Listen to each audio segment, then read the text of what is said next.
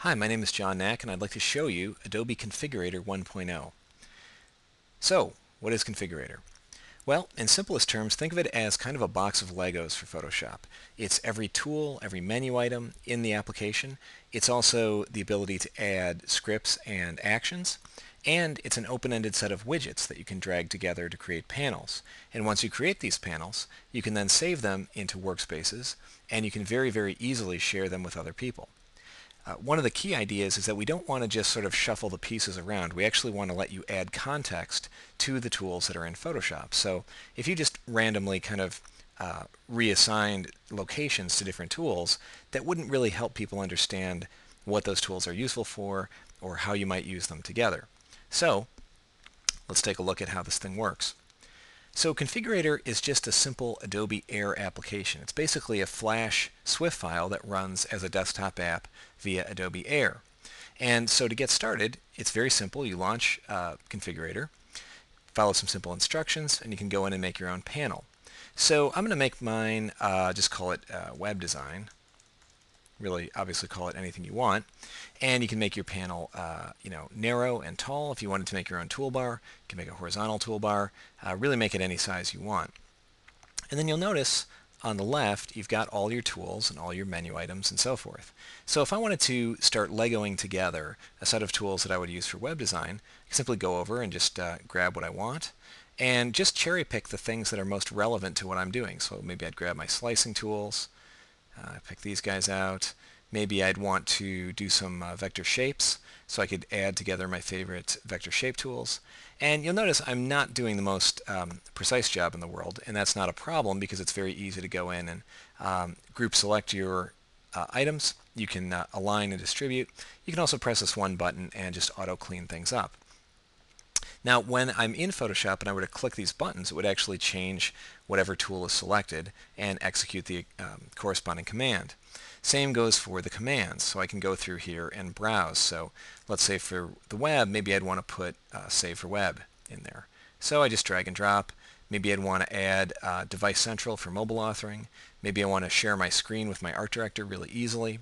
And I can go in and just uh, tweak the parameters here and resize these guys uh, however I like. Again, I can just uh, automatically clean those up.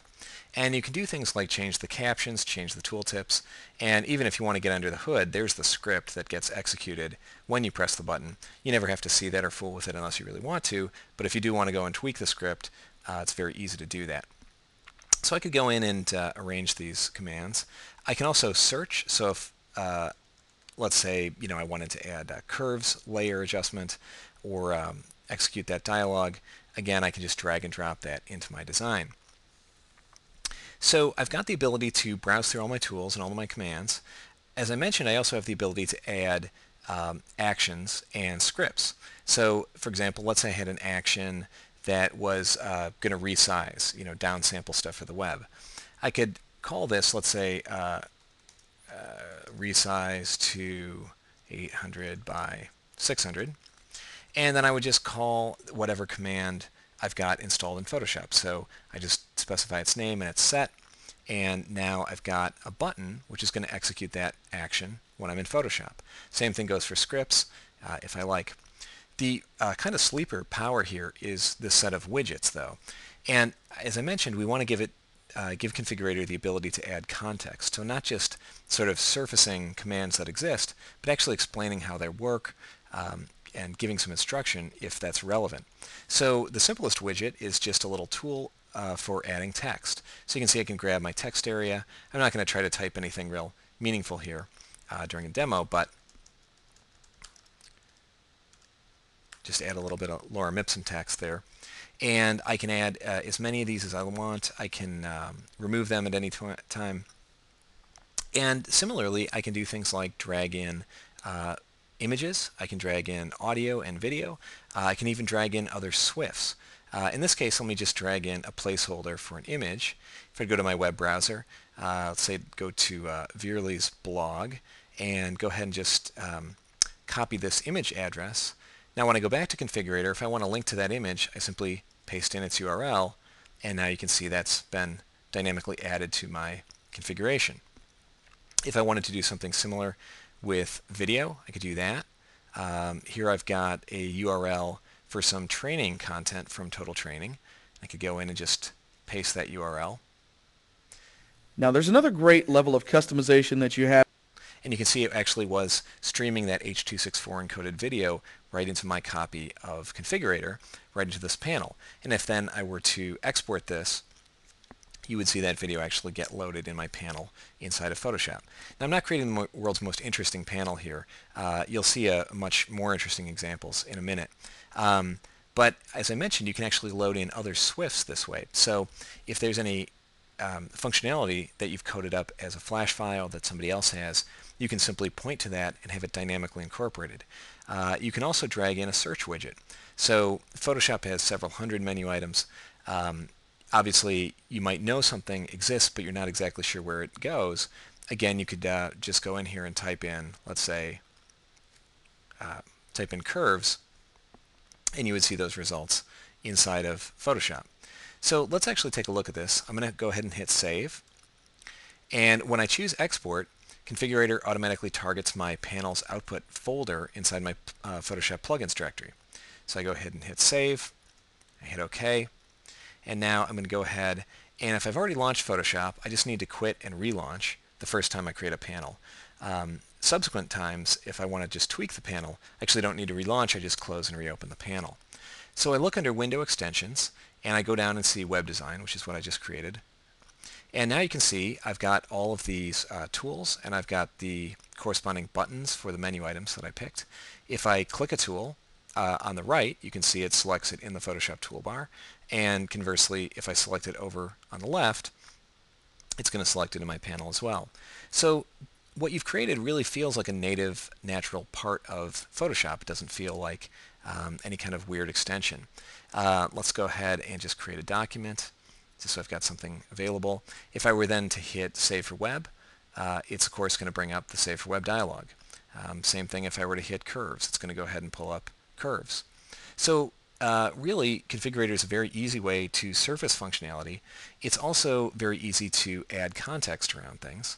And with search, if I were to go in and type curves and just pick that, then curves is going to come up. So it's actually giving me the ability to search the whole Photoshop UI if uh, that's a widget that I want to add. So let's take a look at uh, some slightly more interesting examples.